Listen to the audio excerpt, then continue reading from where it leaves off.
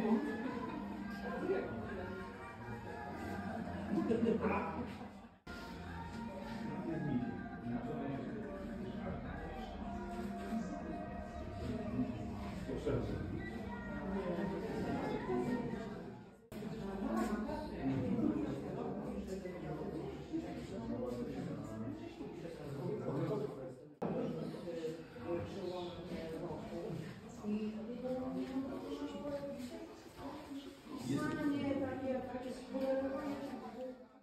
że jest w pełni normalne i że łączymy te wątki ze sobą i podczas Wigilii z jednej strony...